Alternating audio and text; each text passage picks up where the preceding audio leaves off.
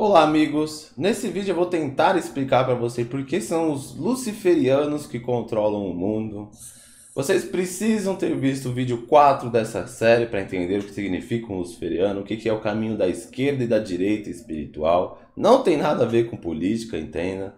Também é necessário que vocês vejam o vídeo 19, onde eu falo sobre templos de Lúcifer. Se vocês querem prova dos templos deles, eles existem. São muito fáceis de se observarem.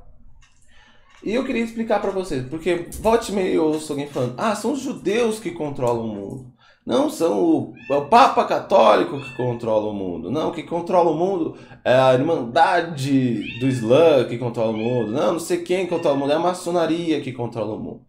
Só tem uma verdade sobre isso. As pessoas que controlam esse mundo são os luciferianos. Eles são da direita espiritual. Eles acreditam em controle populacional, eles acreditam em obter poder, eles acreditam em Lúcifer, eles não acreditam em judeus, eles não acreditam no catolicismo, eles não acreditam em muçulmanos. Não é a religião deles. Mas eles amam ver os católicos acusando os judeus, os judeus acusando os muçulmanos, os muçulmanos acusando os católicos, ambos entrando em guerra, se matando, terrorismo. Eles adoram ver isso. Fica mais fácil controlar a população depois. Os luciferianos eles se encontram num caminho que não é do ego. Eles não têm ego algum. Talvez você pense, nossa, as pessoas têm um ego enorme, querem controlar tudo. Não. Eles têm uma, uma, uma, um caminho espiritual que implica que eles querem controlar tudo. Eles querem controlar a humanidade, elas querem trazer a luz da humanidade. Eles acreditam que Lúcifer é a luz. Eles acreditam que eles são os trazedores da luz. Eles acreditam que são os promotores do gênero humano.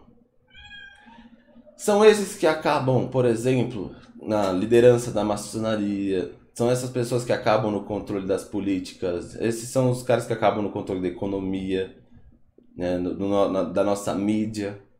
São essas pessoas que têm um motivo espiritual para controlar. Elas não se importam consigo mesmo. Por mais bizarro que isso pareça para vocês, não são pessoas que estão interessadas em si mesmos. Por isso que a salvação espiritual não lhe é nem um pouco importante. Eles não querem saber sobre isso, tá? Então, Antes de você pensar, não, são os judeus contra o mundo, tem provas aqui, não, é o Papa Católico, não, é os muçulmanos. Pense, será que essas pessoas realmente, no final da noite, estão rezando para suas religiões? Ou eles não têm nada a ver com isso? Bom, isso é tudo. Até a próxima. Tchau, tchau.